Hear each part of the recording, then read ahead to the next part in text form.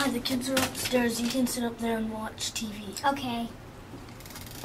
Man, I wish I could switch rooms. Hi, can I go and switch rooms? This concept is really creeping me out.